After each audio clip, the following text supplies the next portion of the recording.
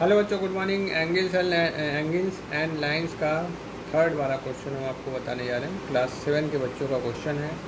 यहाँ पे ए की वैल्यू फाइंड करनी है। ये एक स्ट्रेट लाइन है। अगर ये कोई कोई भी स्ट्रेट लाइन में जो दोनों तरफ़ सीधी रेखा जो जा रही है, इसके ऊपर की तरफ़ ये पूरा 180 का होता है। नीचे की तरफ़ ये वाला एंगल भी 180 का होता है। और आपको पूरा पता है कि पूरा जो होता है, ये गोल पूरा घूम जाए तो ये 360 का होता है। तो यहाँ पे ये 30 डिग्री का है और यहाँ पे ए आपको फाइंड करना है। ये ए की यहाँ से यहाँ तक का जो एंगल है, वो कितना होगा उसको फाइंड करना है। तो यहाँ पर देखिए, यहाँ पर 180 ये पूरा पता है मुझे 180 टोटल एंगल है ये पूरा। ये 180 है। इसमें से ये 30 को माइनस कर दीजिए 30 डिग्री ठीक है? वैल्यू आएगी 150 तो ए इक्वल टू 150 वैल्यू हो जाएगी। 150 डिग्री यही आपका आंसर होगा।